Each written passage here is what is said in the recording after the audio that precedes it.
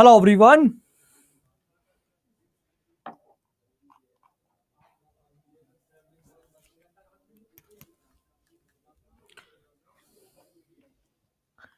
Hello everyone कैसे हैं आप लोग? आ चुके हैं क्लास में।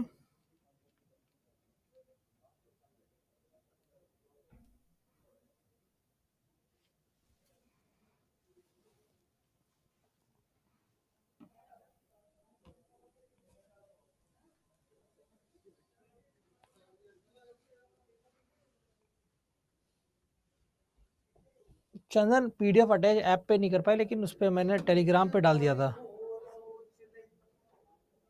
Kanchan I am fine what about you dear कल की क्लास कैसी लगी थी आप लोग को डीआई की? ए सॉरी डाइस की?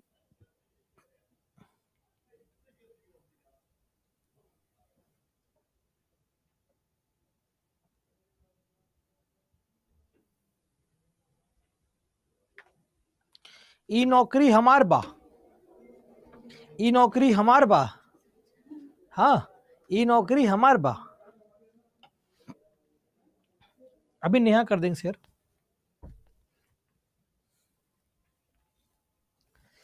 कई जीत बाकी है, कई हार बाकी है।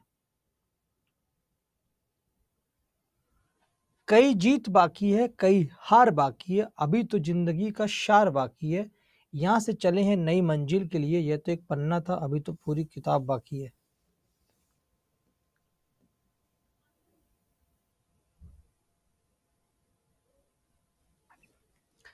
कई जीत बाकी है, कई हार बाकी है, अभी तो ज़िंदगी का सार बाकी है। यहाँ से चले हैं नई मंजिल के लिए। यह तो एक पन्ना है। अभी तो पूरी पूरी किताब बाकी है। उज्जवल पांचाल सॉल्व कर देंगे। अभी इसके बाद जो चैप्टर पढ़ाएँगे, वो नंबर सीरीज़ ही होगा। आपका क्वेश्चन वहीं उड़ा दिया करेंगे, ठीक है? तो जो हमने कल पढ़ाया था, आपको डाइस में कोई दिक्कत हुई टेलीग्राम पर पीडीएफ भी पहुँच गई थी। आपने क्वेश्चन सॉल्व करे होंगे और आपको सब समझ में आया होगा। बोलो यस और नो कैसी लगी थी कल की जड़ी बूटी आप लोग को? हाँ बारिश हो रही दिल्ली गुड़गांव में। बताइए, कल की जड़ी बूटी कैसी लगी थी आप लोग को?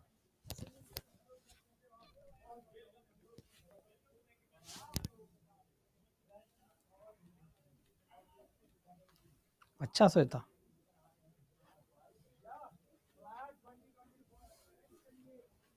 हाँ गणित की क्लास करेंगे बिट्टू कल। खुशबू आज डाल देंगे। बिहार में तो अकाल पड़ रहा है पानी का। आवाज़ आ तो रही भाई, सबको आवाज़ आ रही है? हम मैथ पढ़ाएँगे तो आप लोग फिदा हो जाओगे, पागल हो जाओगे। पागल हो जाओगे, फिदा हो जाओगे मैथ पढ़ा दी तो।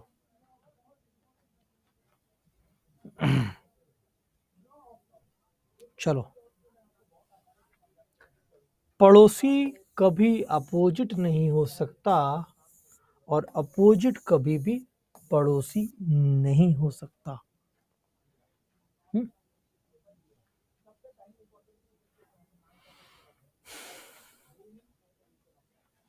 हम लोग पागल होना चाहते हैं, सर, पर हम भी पागल करना चाहते हैं। चलो, करते हैं आपको पागल आज। आज नहीं, आज टाइम बताएँगे, मैथ की क्लास कब होगी। चलो। क्या आप लोग को ओपन डाइस भी समझ में आ गया था? और जड़ी बूटी भी समझ में आ गई थी? ओपन डाइस भी समझ में आ गया था? जड़ी बूटी भी समझ में आ गई थी?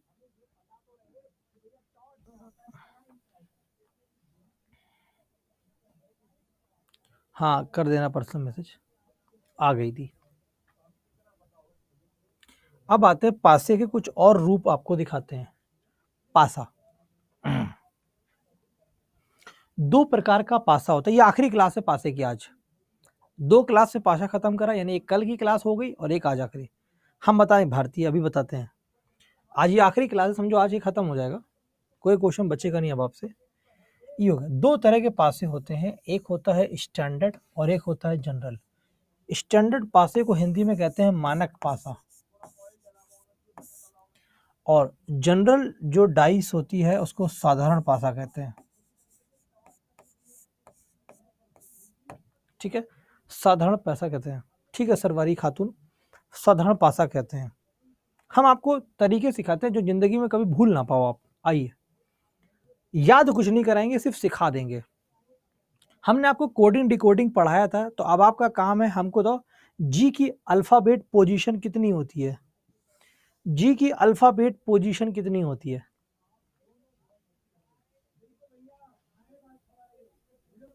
बहुत क्लास ले लिए बेटा आज। सात होता है। अच्छा एक चीज़ और बताओ। जन, जनरल में कितने अक्षर टोटल लिखे गए हैं? इस शब्द में टोटल कितने अक्षर लिखे हुए हैं? ऐसी चीज़ सिखाएँगे आप भूल नहीं पाओगे ज़िंदगी में। आप कभी नहीं भूल पाओगे। कहोगे सर आप क्या एग्ज़ाम्पल देते हो यार? हम तो सोच ही नहीं पाते हैं। टोटल सात लेटर, एक, दो, तीन, चार, पाँच, छः, सात। ओके? टोटल जो लेटर है, टोटल सात आ रहा है। बस यही बात यहाँ से चुरा लेनी है हमको। टोटल सात आ रहा है। टोटल सात आ रहा है। अच्छा एक बात और बताना। मेरी मेरी बात पर हाँ और ना का जवाब देना। सारे बच्चे, जो मैं कहूँगा, अगर मेरी बात आपको समझ में आए तो हाँ करना, बोलना, वरना ना करना। जो, टोटल सात है। जो टोटल सात लेटर है, ये हमको दिखाई दे रहे हैं कि नहीं दे रहे? ये हमको सात दिखाई दे रहे हैं कि दे रहे? जो टोटल सात लेटर है, वो हमको दिखाई दे रहे हैं कि दे रहे? ये छुपे हैं, ये दिखाई दे रहे हैं कि नहीं दे रहे? दिखाई दे रहे हैं तो हाँ बोलो और नहीं दिख रहे हैं तो ना बोलो। टोटल सात दिख रहा है, बोलो हाँ और ना। टोटल सात लेटर आप जनरल में देख पा रहे हैं कि नहीं देख पा रहे? हैं और ना का जवाब दीजिए। सर देख पा रहे हैं, सर, अब तो खेल खत्म कर दो। आओ, खेल खत्म। अगर हम ऐसा कोई भी पासा जहाँ पर हम सात देख पाए, सात अक्षर देख पाए या सात सम देख पाए, सम सात देख पाए, योग सात देख पाए, ऐसा पासा जहाँ पर सात सम दिखाई दे, यानी चार लिखा है तीन लिखा है दो लिखा है ऐसा पासा जहाँ पर किन्हीं भी दो फलक को जोड़ा जाए, उनका योग सात आ जाए उसी को कहा जाता है जनरल डाइस। आइए, चार और तीन कितना हो गया? सात हो गया। हो रहा है क्या सात? ये सात अगर हो गया, देखो चार और दो को जोड़ा तो सात नहीं हुआ। दो और तीन को जोड़ा नहीं हुआ। किसी भी एक बार के जोड़ने पर सात हो जाएगा, उसी डाइस को हम लोग क्या कहेंगे? जनरल डाइस कहेंगे। यानी साधारण पासा कहेंगे। कितने बच्चों की कहानी क्लियर है? कितने बच्चों की कहानी किन्हीं भी दो फलक को जोड़ा जाए, किन्हीं भी दो एडजेसेंट फेजेस को जोड़ा जाए, वो अगर साथ हो जाए तो उन्हीं को जनरल डाइस कहते हैं। साथ दिखता है, सम दिख रहा होता है। क्या होता है? हमको दिख रहा होता है। छ लिखा हुआ है, पाँच लिखा हुआ है, दो लिखा हुआ है। ये जनरल डाइस है या नहीं? यस और नो में जवाब दीजिए। दीप्ति रिपीट कर देंगे टेंशन मत लो। ये जनरल डाइस है या नहीं? नो बच्चे जो बोल रहे हैं, उनको मुर्गा बना दूँगा मैं। जिन्होंने नो बोला, वो मुर्गा बनने तैयार रहे हैं। पाँच प्लस दो कितना होता है?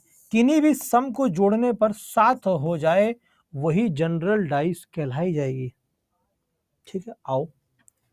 ये तीन लिखा हुआ है, ये एक लिखा हुआ है, ये छह लिखा हुआ है। ये पासा जनरल है या नहीं है? किन्हीं भी दो को जोड़ दो, तीन और एक, चार। तीन और छह, नौ। छह और एक, सात। अगर किसी भी दो को जोड़ने पर सात आ गया तो वो जनरल डाइस है। छ पाँच और दो। ये जनरल डाइस है या नहीं? छ पाँच और दो। ये जनरल डाइस है या नहीं? छ पाँच और दो। जनरल डाइस है या नहीं? है। अच्छा अब एक बच्चा हमारे बिहार की पावन धरती से बैठा होगा, उसके दिमाग में गर्मी के दरमियान एक बात आ रही होगी। अगर सर जोड़ने पर साथ ना आए तो क्या होगा?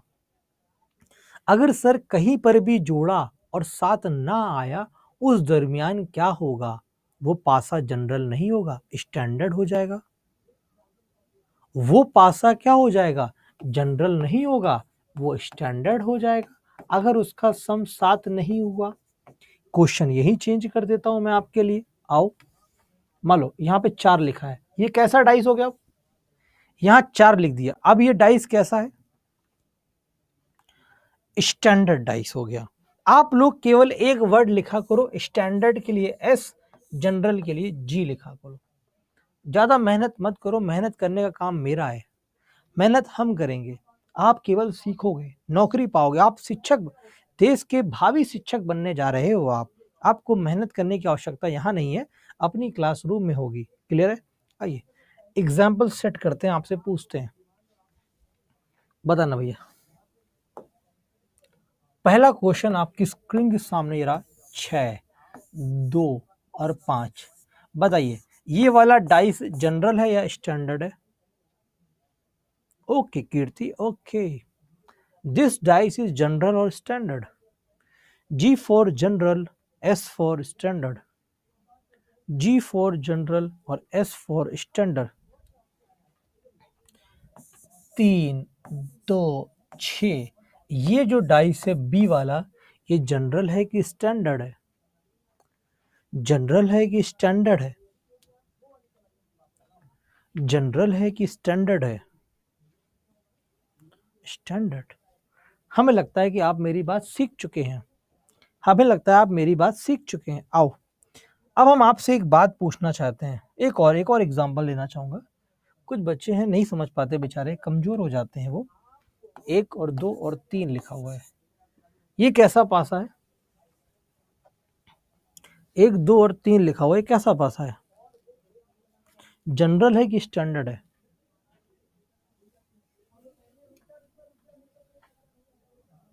सब बच्चे, किसी ने गलत जवाब दिया, किसी ने गलत जवाब दिया तो समझ लेना मुर्गा बना दूँगा।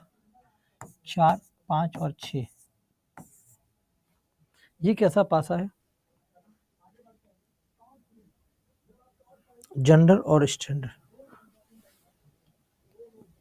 अभी क्लास स्टार्ट हुई टेंशन मत आइए। आपको अगर याद हो, मैंने कल की क्लास में एक चीज़ पढ़ाई थी डाइस में छह फ़ेज़ होते हैं। छह फलक होते हैं डाइस में।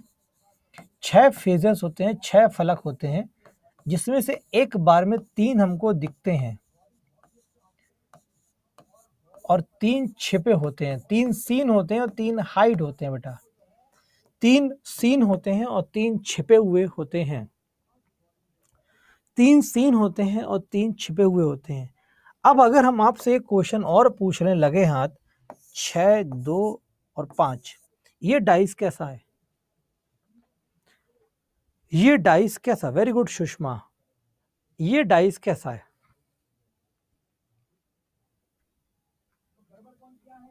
जनरल है। क्यों? क्योंकि यहाँ पर हमको इसका सम सात दिखाई दे रहा है। यहाँ पर इसका सम हमको सात दिख रहा है। यानी जनरल में सम सात दिखाई देता है। है ना? अब फलक का मतलब होता है एडजस्टेंट बेटा।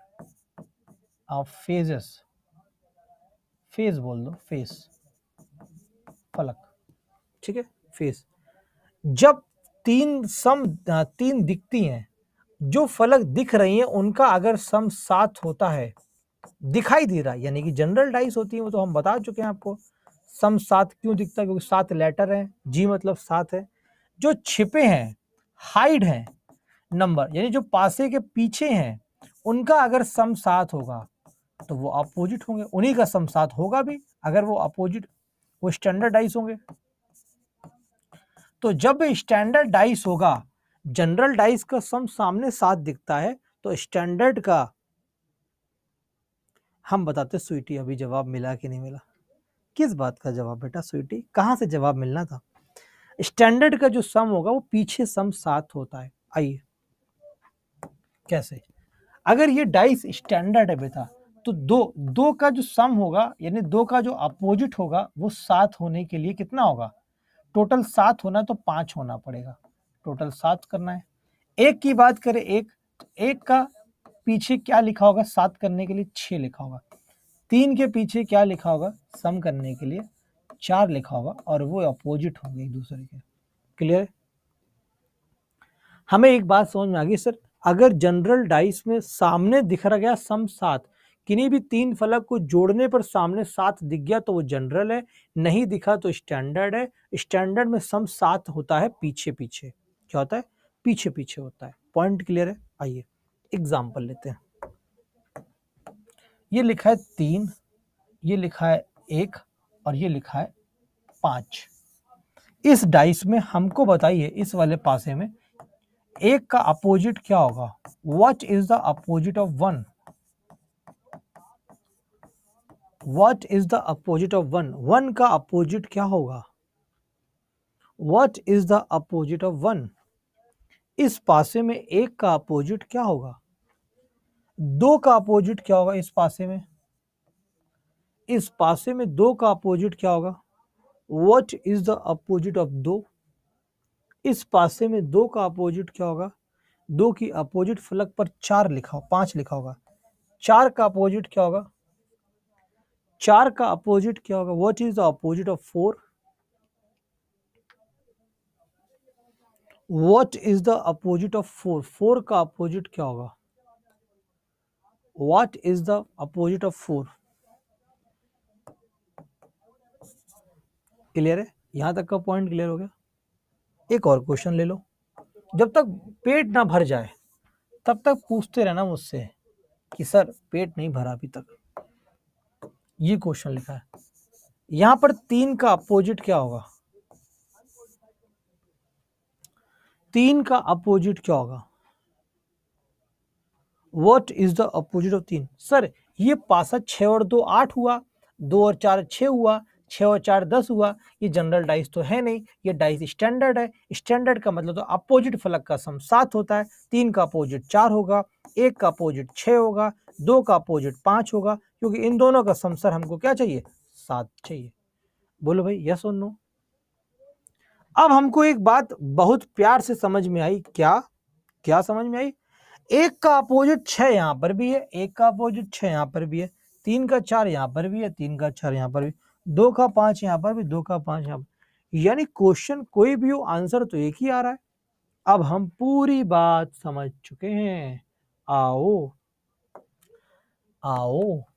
जैसे लिखा है, एक, दो और तीन। जब कभी भी डाइस स्टैंडर्ड होगा बेटा, जब कभी भी डाइस स्टैंडर्ड होगा, यानी कि मानक पासा होगा, वहाँ पर क्या होगा? एक का अपोजिट हमेशा छह होगा, दो का अपोजिट हमेशा पाँच होगा, तीन का अपोजिट हमेशा चार होगा। ये दोनों एक दूसरे के अपोजिट नंबर्स हैं। क्या है? ये अपोजिट लिख दिया हमने। क्या लिख दिया? अपोजिट है ये, ठीक है? क्योंकि इनका टोटल जो सम आना चाहिए, हर जगह सात आना चाहिए। तो ये स्टैंडर्ड डाइस का खेल था। पॉइंट क्लियर है? क्लियर है बेटा? स्टैंडर्ड की कहानी ये हो गई। यहाँ तक की बात क्लियर है? स्टैंडर्ड का हमें स्टैंडर्ड डाइस को पहचानना भी आ गया और उसका अपोजिट निकालना भी आ गया। ये दोनों चीज़ हमने स्टैंडर्ड डाइस में सीख ली। अब एक चीज़ अभी बाकी है समझाना, क्या? आओ। जनरल डाइस को पहचानना हमको आ गया है कि नहीं आ गया? यस और नो का जवाब दीजिए। क्या हम जनरल डाइस साधारण पासे को पहचान सकते हैं या नहीं? यस और नो पहचान सकते हैं। जिसका सम सात दिख जाए, किन्हीं भी दो पड़ोसी फलक का सम सात हो जाएगा, वो जनरल डाइस कहलाएँगे। उड़ी बाबा, कौन से बाबा? उड़ी बाबा। चार। ये जनरल डाइस है। इसका अपोजिट क्या होगा? इसका अपोजिट क्या होगा? तो पाँच, दो और चार, ये आपस में पड़ोसी हैं। इनका अपोजिट वही होगा जो इनके पीछे लिखा गया है। एक, तीन और छ ये इनके अपोजिट हो। इनका अपोजिट फिक्स नहीं होगा। जनरल डाइस का अपोजिट फिक्स नहीं होता है, ठीक है? जनरल डिब्बे ट्रेन में यात्रा करो, बिहार की तरफ़ जा रही ट्रेन में जनरल डिब्बे में जो सवारी करते हैं वो आपस में कभी लड़ते नहीं है, क्योंकि वो भाई बंधु होते हैं। एक ही डिब्बे में बैठे, एक ही स्टैंडर्ड को मेंटेन करे वो, कभी नहीं लड़ते बेटा। आओ।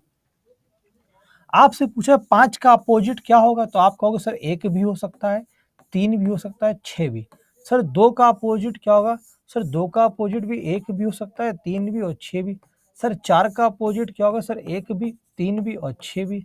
अब आपके मन में एक सवाल आएगा, सर कि वहाँ से मुझे एक का अपोजिट क्या होगा सर? तो पाँच भी, दो भी और चार भी। सर, तीन का अपोजिट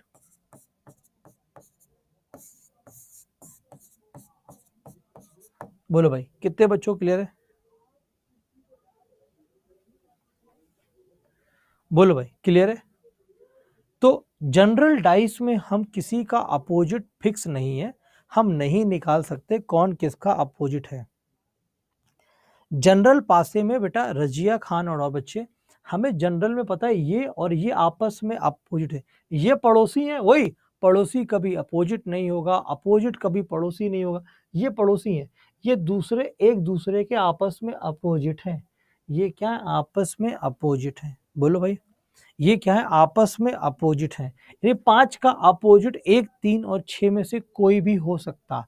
अगर यही स्टैंडर्ड डाइस होती तो पाँच का अपोजिट दो होता। लेकिन जनरल डाइस है, जो उसके पीछे लिखा होगा, वो सब उसके अपोजिट हो सकते हैं। क्लियर है? आया? पाँच छह साल हो गया आइए, सवाल कराते हैं आपको।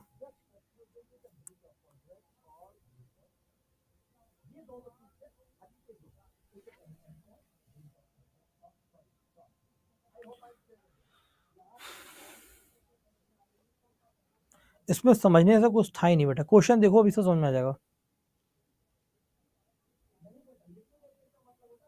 कीर्ति, बहुत जल्दी। सारे बच्चे जितने क्लास में हो, अगर सब लोग बोलो, हम आपकी मैथ की क्लास में आप आएँगे। एक एग्ज़ाम्पल एक क्लास में अगर आप सब आ गए।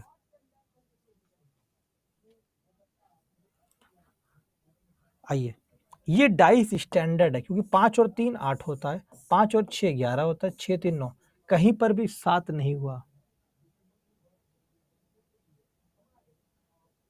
ठीक है? तो अब तीन का अपोजिट स्टैंडर्ड डाइस में क्या होगा? चार होगा।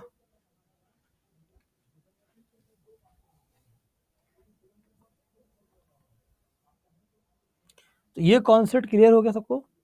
चलो नेक्स्ट ये हमने समझा था जब हमें डाइस केवल एक पासा दे रखा हो, वो। अभी पूछेंगे, जो बच्चे आओगे, हम अभी बात करेंगे क्लास के बारे में। तीन का चार होगा, पाँच का दो होगा वेरी गुड बेटा। एक पोजीशन डाइस की दे रखी हो। अब हम जो क्वेश्चन पढ़ने जा रहे हैं, कैसे हुआ भारती? वो डाइस स्टैंडर्ड थी बेटा, ऐसे हुआ।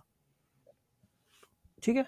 अब डाइस की दो अलग अलग पोजीशन दे रखी यानी पासे को दो बार ऐसे हिलाया और पासे को ऐसे फेंका, फिर पासे को ऐसे रोल किया, फिर थ्रो कर दिया। तो यही पासे को, एक ही पासे को दो बार हमने थ्रो किया हुआ है, दो बार पासे को ऐसे ड्रॉप किया हुआ है।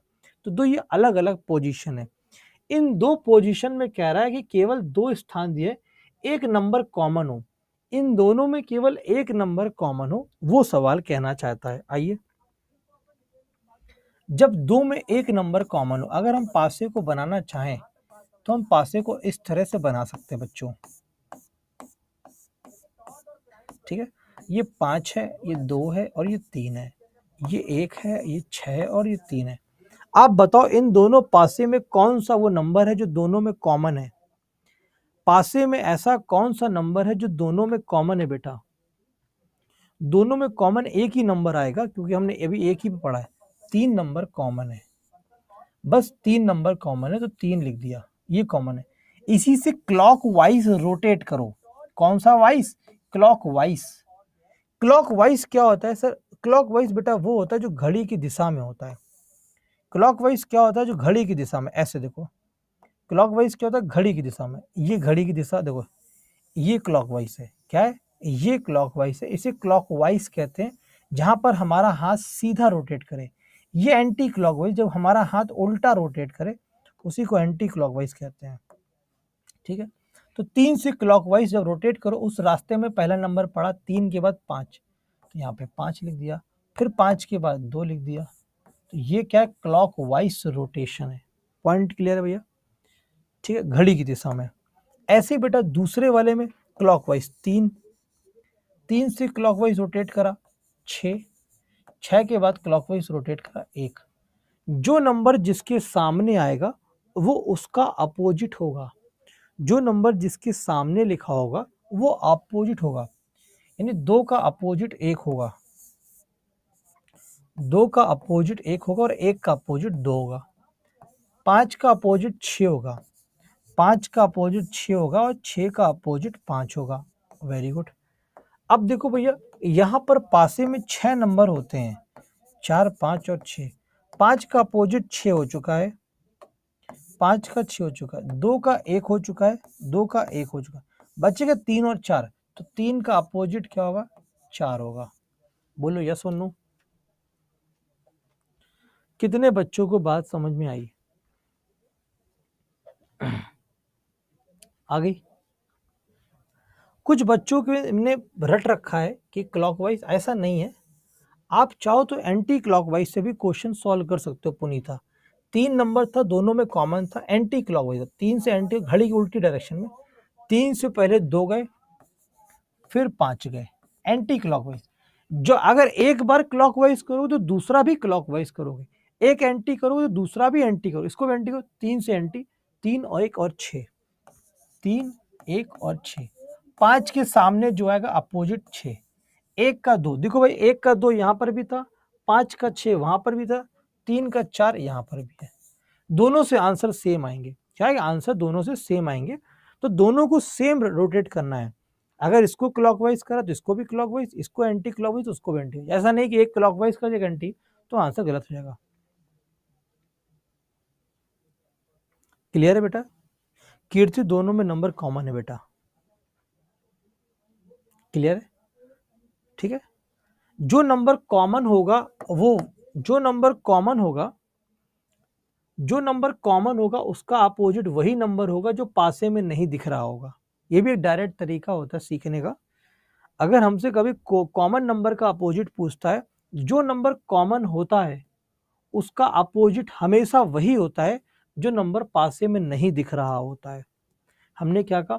कॉमन नंबर तीन था तो तीन का अपोजिट वही होगा जो इन पासों में नंबर नहीं, एक ही नंबर होगा जो नहीं दिख रहा होगा। राकेश इस, इससे नहीं फ़र्क पड़ता है ये जनरल और स्टैंडर्ड सबके लिए रवि। जनरल और स्टैंडर्ड से मतलब नहीं ये ऑल एप्लीकेबल चाहे कोई भी डाइस हो इससे कोई मतलब नहीं है ठीक है? सिर्फ़ एक पासा जब दिया रहेगा एक पासे की पोजीशन दिया तभी जनरल और स्टैंडर्ड देखना है एक के अलावा जनरल स्टैंडर्ड नहीं देखना है। क्लियर है? पॉइंट क्लियर है? अभी आ रहा है प्रशांत। यहाँ तक की बात क्लियर है? एक नंबर कॉमन होगा तो समझ में आ गया। इस पर एक दो क्वेश्चन कराते हैं आपको।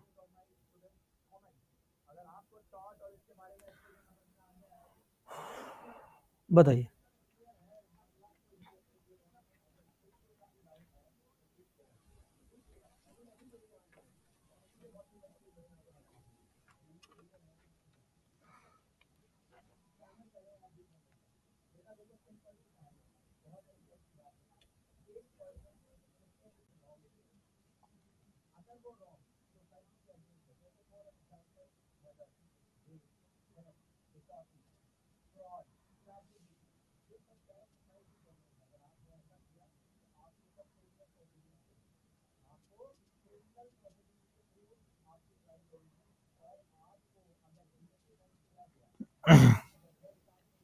बताओ आंसर क्या होगा?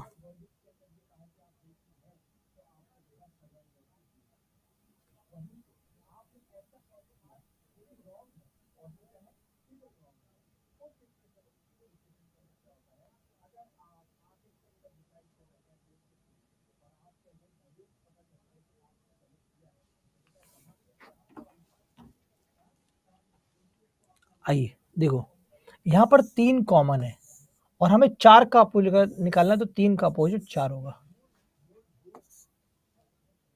ठीक है? डायरेक्ट क्योंकि हमें वो नंबर का निकालना था जो इसमें नहीं है तो वो तो हमें पता है कॉमन नंबर का अपोजिट होता है।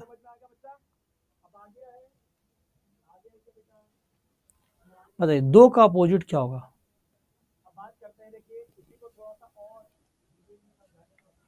दो का अपोजिट निकालना है।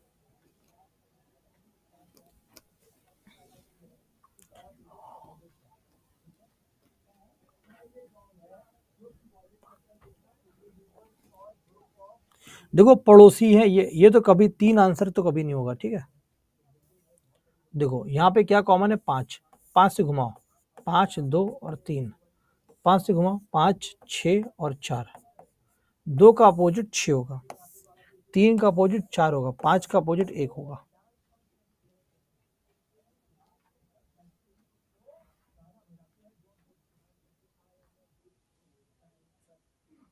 बताइए, तीन का अपोजिट क्या होगा? अपोजिट ऑफ़ तीन।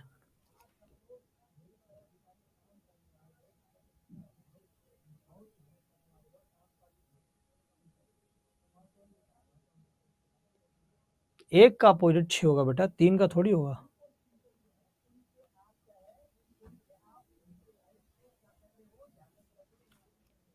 एक। एक, दो और चार। एक, पाँच और तीन।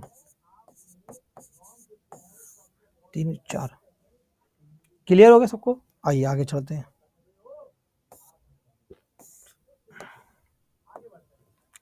अभी तो हमने दो पासे देखे थे, दो पासे।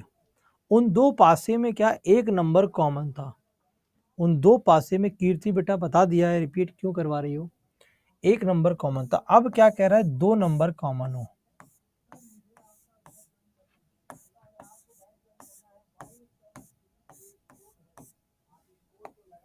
आइए। छ, दो और पाँच। दो, एक और छ। ऐसे नंबर लिखे गए हैं। अरे बेटा, कुछ भी कर लो यार। रिपीट करने वाला सवाल ही नहीं था। आप लोग समझो ना, टाइम की वैल्यू बेटा। ये तो सिलेबस खत्म नहीं हो पाएगा। सुस्ती नहीं छाया, उड़ी बाबा। शिखा, उड़ी बाबा। कौन सी बाबा? उड़ी बाबा। आओ। यहाँ पर दो नंबर कॉमन है। कौन कौन से दो नंबर कॉमन है भैया? दो और छ कॉमन है। दो और छ कॉमन है। जो दो नंबर कॉमन होंगे, कौन हंस रहा है? कुमारी पूजा यादव हंस रही हैं। ठीक है। दो नंबर जो कॉमन होंगे, उनके बाद जो छोड़कर तीसरा नंबर होगा, वो एक दूसरे के अपोजिट होगा। हाँ एक गाना सुनाएँगे अभी। डांस भी कर दूँगा, आप कहोगे तो। एक का अपोजिट पाँच होगा। ये फिक्स वैल्यू है। जिस भी पासे में दो नंबर कॉमन होंगे, तीसरा उसके अपोजिट अपने आप हो जाएगा। हाँ साहिल, अगर एक पासे को क्लॉकवाइज घुमाओगे तो दूसरे को भी क्लॉकवाइज घुमाओगे और वहीं से घुमाओगे जहाँ से नंबर कॉमन होगा। ठीक है? आइए। हमने कहा कि जो दो नंबर कॉमन है, उनके अलावा जो नंबर बचेंगे, वो आपस में एक दूसरे के अपोजिट रहेंगे। ये बात सबको क्लियर हो गई? क्लियर हो गई? अब देखो बेटा। एक का अपोजिट पाँच हो चुका है, बचा दो और छ तो इस दो और छ का जो अपोजिट होगा, वो दो और छ का अपोजिट जो नंबर यहाँ नहीं, तीन और चार में से कुछ भी हो सकता है। तो इसके बारे में सॉलिड इंफॉर्मेशन नहीं है। यानी दो का अपोजिट तीन भी हो सकता है, चार भी हो सकता है। छ का अपोजिट तीन और चार भी हो सकता है, या तीन का अपोजिट दो और छ में से कोई एक हो सकता है। चार का अपोजिट भी दो और छ में से एक हो सकता है। कितने बच्चों के बात समझा कि तारा वेरी गुड अब है जैतपुरा वेरी गुड जब दो नंबर कॉमन होंगे तो तीसरा अपने आप अपोजिट होगा। और जो दो नंबर कॉमन थे, उनका अपोजिट के बारे में पता नहीं लगा पाएँगे हम लोग। ठीक है? आइए क्वेश्चन दिखाते हैं।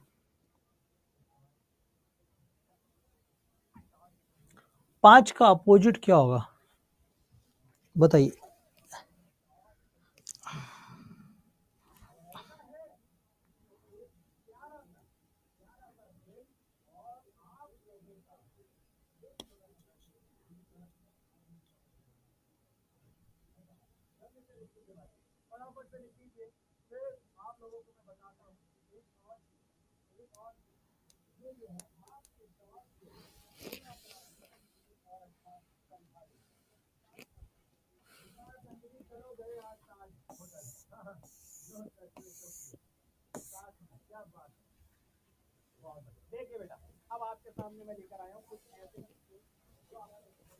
बताइए।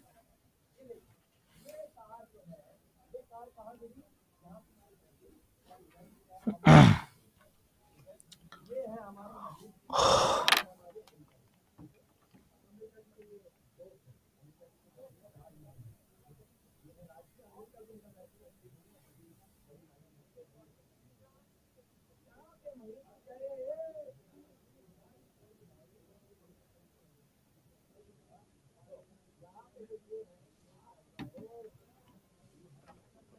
गया?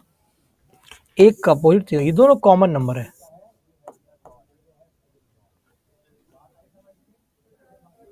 दो का अपोजिट क्या होगा?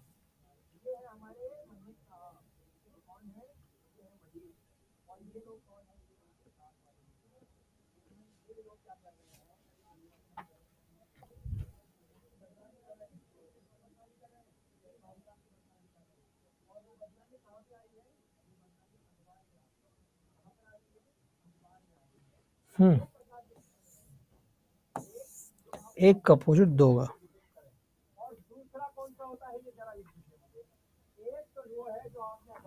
अभी तो जो पढ़ाया गया सब कुछ क्लियर है? अभी और क्वेश्चन जो कराने जो ज़रूरत तो नहीं है, हमने जितना पढ़ाया है, अभी इसमें दो टाइप पढ़ाया आपको। कोई और क्वेश्चन कराने की ज़रूरत तो नहीं क्लियर है? ठीक है। क्लियर है। आइए। अगर एक बार एक नंबर कॉमन था, एक बार दो नंबर कॉमन हो जाए और एक बार नो नंबर कॉमन कुछ भी कॉमन ना हो।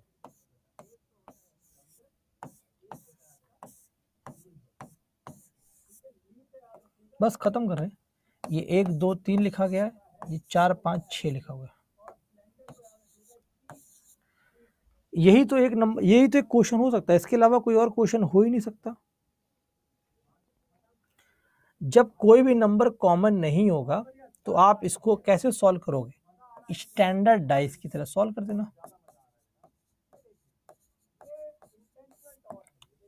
एक का अपोजिट छ होगा, तीन का चार होगा, दो का पाँच होगा।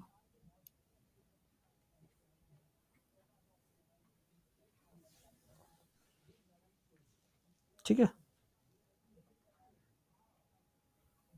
हाँ। कोई दिक्कत नहीं है बेटा। ठीक है? कुछ क्वेश्चन दिखाना चाहता हूँ। आपको जो पेपर में आते हैं, जो इन सारे कॉन्सेप्ट से मतलब ही नहीं है उनको। कुछ क्वेश्चन में ऐसा दिखाना चाहता हूँ, जो जो हमने पढ़ाया उससे मतलब ही नहीं है। वो कभी कॉन्सेप्ट मतलब नहीं रखते, वो अलग से आते हैं।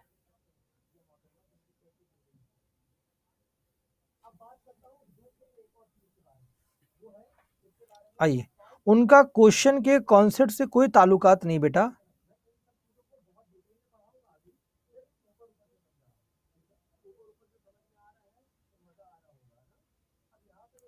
अब देखो हमने आपको वो पढ़ाया था। अभी हम आ रहे मैथ की क्लास पर आ रहे बेटा रुक जाओ। हमने आपको एक चीज़ पढ़ाई थी अगर आपको याद हो आ, जड़ी बूटी। तो जड़ी बूटी सॉल्व करते थे लेकिन इसके अलावा हम लोग एक और मेथड लगा सकते हैं। तो यहाँ पर तीन का अपोजिट निकालना है। तो एक और दो यहाँ पर भी है एक और दो यहाँ पर भी। डायरेक्ट तीन का अपोजिट पाँच। राकेश करवा रहे बेटा। हाँ सुषमा डोंट वरी। ठीक है? ये डायरेक्ट कर सकते हो। दो नंबर कॉमन तो तीसरा अपने आप अपोजिट हो गया। हम लोग जड़ी बूटी के अलावा इस कॉन्सेप्ट को भी यूज़ कर सकते हैं क्वेश्चन को सॉल्व करने के लिए। ठीक है? देखो, दो का अपोजिट निकालना है। तो यहाँ पर पाँच और छ सॉरी दो का यहाँ पे तीन और छ, यहाँ पर तीन और छ। दो नंबर कॉमन है, दो का अपोजिट क्या होगा? पाँच होगा डायरेक्ट सॉल्व हो गया। डायरेक्ट सॉल्व हो गया। किसी भी पासे में दो नंबर कॉमन होते हैं तो तीसरा अपने आप अपोज हाँ सही बात है, सिखा। क्लियर है?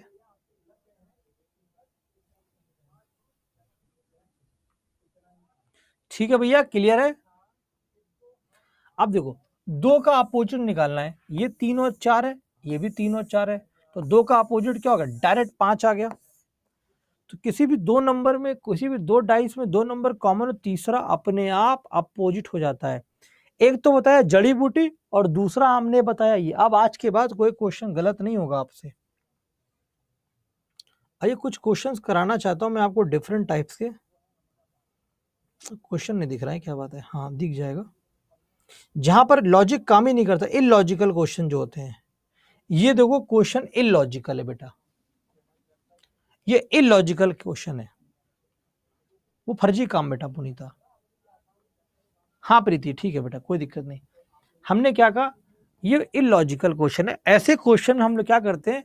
जो ऊपर लिखा है तो ऊपर के सामने वाला अपोजिट होगा। दस का अपोजिट बारह होगा। ठीक है? दो का अपोजिट छ होगा। और चार का अपोजिट आठ होगा। कब? ऐसा कब होगा? जब बेटा हमारे पास नंबर फिक्स ना हो। जैसे एक, दो, तीन, चार, पाँच छः लिखे थे तो फिक्स नंबर है।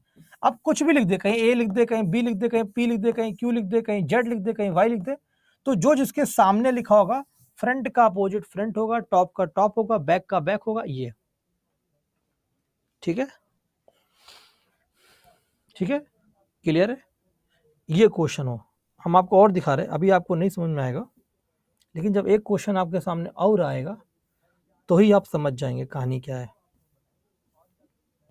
और वो क्वेश्चन रख दिया हमने। अब एक क्वेश्चन ये आ गया। कह रहा है कि रेनबो में से कौन सा कलर नहीं है इसमें। आ, क्या कह रहा है? रेनबो में से कौन सा कलर नहीं है?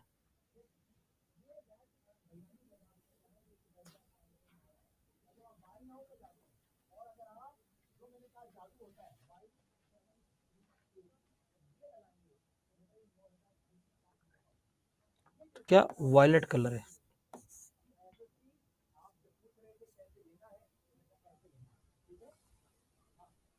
ये तो कर ही लोगे। ये कॉमन है बी कॉमन है। बी से घुमा देना। कर लोगे ना? बताओ क्या आंसर आएगा।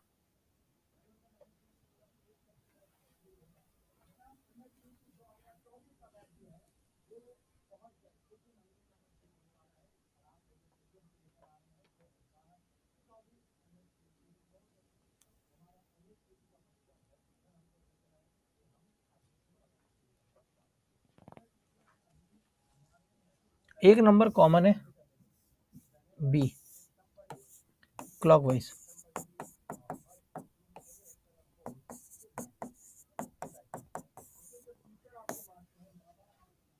ए का अपोजिट ई होगा।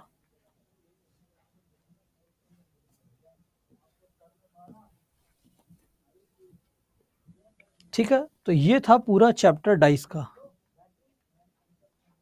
लक्ष्मी, पता नहीं क्या है। कैसा लगा आपको ये चैप्टर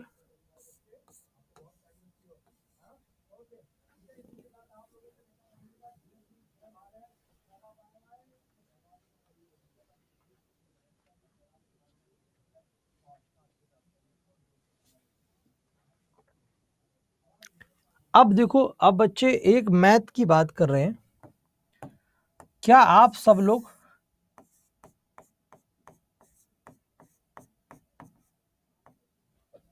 संडे वाले दिन रात्रि के 9 पीएम पर खाली हैं। क्या आप लोग संडे वाले दिन रात को 9 बजे खाली हैं? अब हम आपको एक मौका दे रहे हैं बेटा। आपके लिए सिर्फ़ कर रहा हूँ ये काम। सिर्फ़ आप लोगों के लिए। आप लोगों ने हमसे वो कहा है। एक चैप्टर है आपका बार कॉन्सेप्ट।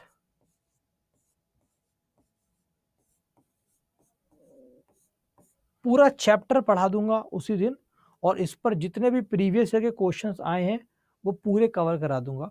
आपको समझ में आ जाएगा मैं कैसी मैथ खतरनाक पढ़ाता हूँ। ठीक है? उसी दिन आपको रियलाइज़ हो जाएगा क्या धुआँ धुआँ कर सकते हम लोग। तो संडे को नौ बजे सेशन बुक किया जाए। और ये तभी हो पाएगा बेटा पॉसिबल हमेशा अगर आपको मैथ पढ़नी होगी आप हमसे हमेशा पढ़ना चाहोगे तो इस क्लास पर आपको लाइव आना पड़ेगा। अगर आप इस पर लाइव आओगे भारी संख्या में हर बच्चा पाँच पाँच दो दो तीन तीन बच्चों को लेकर आएगा। अगर कंपनी ने देखा कि हमने बच्चे पढ़ाए और आप खत, आपको मेरा कॉन्सेप्ट हंड्रेड परसेंट समझ में आएगा आग लगा देंगे। नहीं वो यूट्यूब पर होगा ये पेड पर नहीं होगा यूट्यूब पर होगा हाँ ये बताना भूल गया ये यूट्यूब पर होगा ये जो सेशन होगा वो यूट्यूब पर होगा। तभी तो पेट पर आएगा, पहले यूट्यूब पर होता है, तभी पेट पर आता है।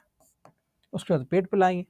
तो अगर आप लोग संडे को रात के नौ बजे संडे यानी परसों ये पूरा कॉन्सेप्ट पढ़ाएँगे, उस पर सवाल भी कराएँगे।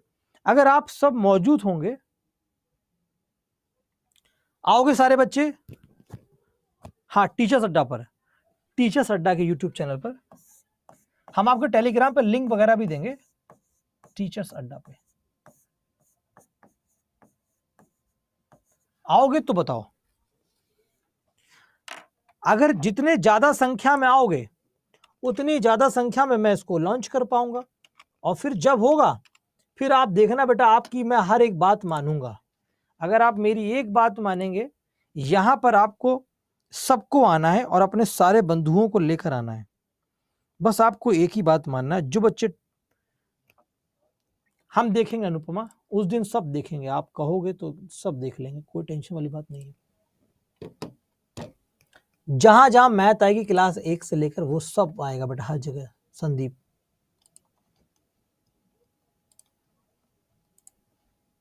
जो बच्चे टेलीग्राम पे नहीं जुड़े, वो ये टेलीग्राम का लिंक रहा, इसको ज्वाइन कर लो, जहाँ पे आपको क्लास का पीडीएफ मिलेगा और लिंक मिलेगा।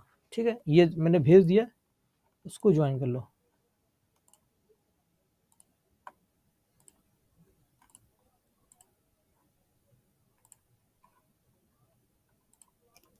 सारे बच्चे। प्रियंका, हमने टेलीग्राम का लिंक दे दिया है। इसको ज्वाइन कर लो। ठीक है? ऐप पर पीडीएफ आज ही अपलोड करेंगे, अनुभव अनुभव। अब बताओ बच्चे, सारे बच्चे, संडे। नहीं, केवल संडे को पहला होगा फिर। कितने बच्चे फीडबैक देंगे? हमारा साथ तो दो आप लोग।